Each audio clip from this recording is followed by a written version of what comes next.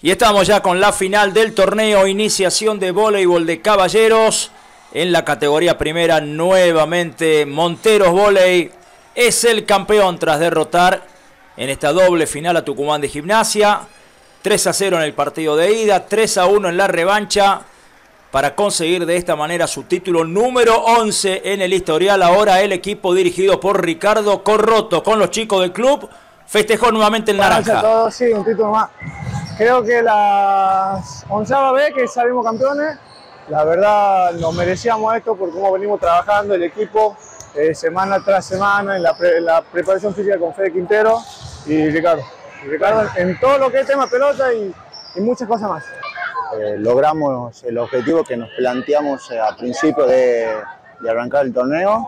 Así que contento, contento. Fue muy duro el partido ayer y hoy, los dos partidos al hilo. Eh, gracias a Dios lo ganamos y lo sacamos adelante.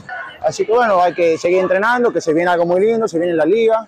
Hay que estar preparado mentalmente, físicamente, así que hay que, hay que entrenar, hay que entrenar. Sí, la verdad que muy contento. Una más para Montero Volley, el primero para mí, como técnico también, así que doblemente la, la satisfacción está plena.